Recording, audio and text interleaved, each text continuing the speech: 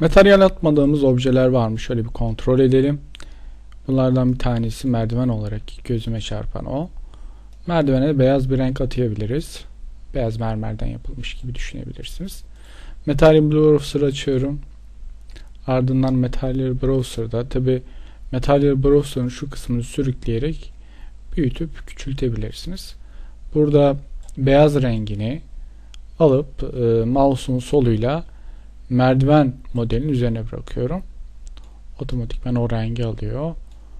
Bir de ufak bir detay sanki bu bacaları da beyaz renge boyasak daha iyi olacak gibi. Ön görünüşe geçelim. Buradan da görüntüleme modunu 2D wireframe yapalım. Ardından objeleri, materyalleri atayalım. White rengini alıp sürükleyip bırakıyorum. Objeleri seçeyim komple. Buradan baca objelerini white rengini alıp üzerine bırakayım. Bakalım nasıl bir sonuç oluştu. Burada olumlu sonuç vermemiş gibi.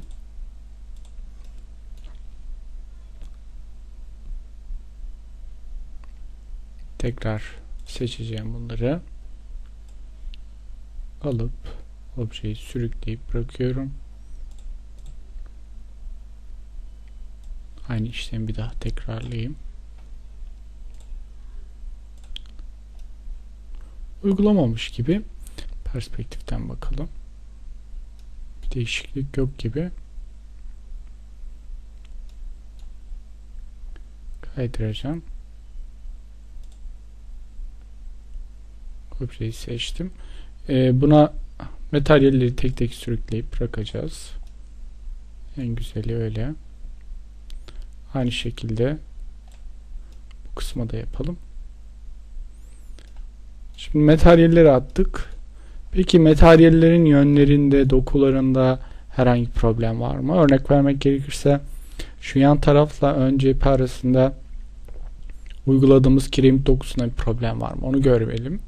Render sonucu olarak görelim. Şu anda resim olarak üzerinde görünüyor ancak hani net olarak bunu algılayamıyorum e, render altında render region diye alt bir simge var. E, bu simgeye tıklayıp sadece bir alan içerisinde ekranda var olan bir alanı e, içerisinde render alabilirsiniz. Ben e, sol ve ön cephede iki farklı materyal özellikleriyle uyguladığımız kiremitten bir ufak render alacağım. İki alanı seçip render alıyorum. Bakın ikisi arasında ciddi bir fark var görüntü açısından. Demek ki bir problem var bunda. Hemen onu düzeltelim. Onu da düzeltmek için Spanish Tile Red 3'e tıklayalım. Bunların bakalım bump değerleri yani kabartma değerleri nedir? Ee, alt kısımda bump diye bir seçenek var. Bakın bu çek edilmiş. Aktif bu.